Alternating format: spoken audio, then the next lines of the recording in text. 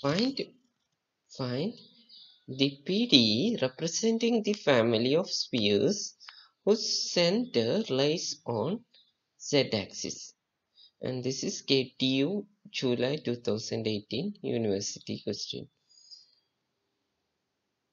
Okay so so the equation the equation of sphere sphere with the center ABC and the radius R is given by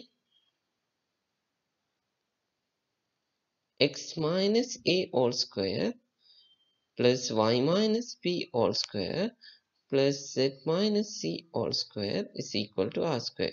So here center is ABC and radius r. Now if center this is x-axis and z-axis. If center is in z-axis then this is of the form this point is of the form 0 0 some c. Okay therefore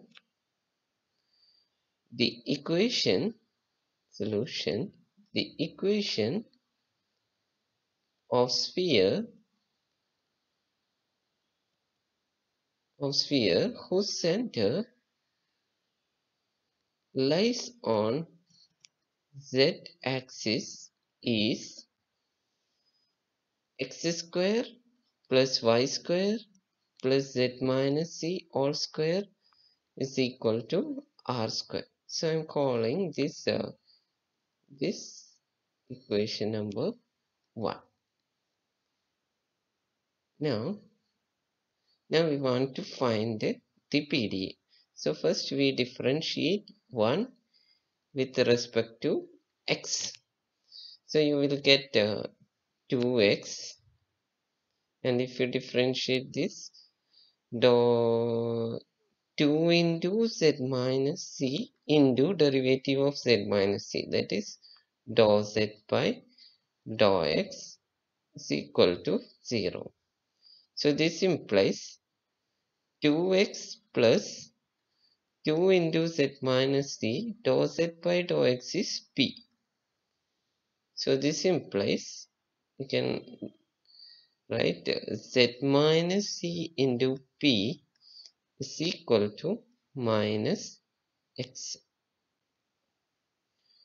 Okay, I am calling this uh, equation number 1, 2. Okay.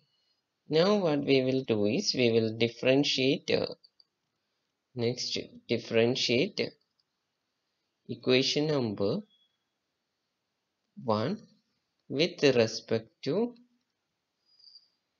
y we get we get similarly we get if you differentiate this respect to y then 2y plus 2 into z minus c into dou y by sorry dou z by dou y is equal to 0 which implies if you simplify this you will get z minus c into q is equal to minus y. Number 3 now now we want PDE we have to eliminate this c. R is already eliminated so we want to eliminate c.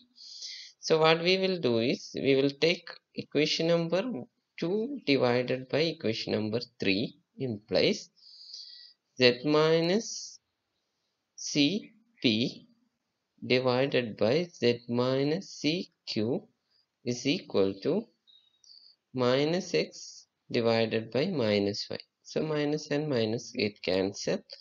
z minus c and z minus c get cancelled. Then you will get py equal to qx. So this is the required PDE. This is the required PDE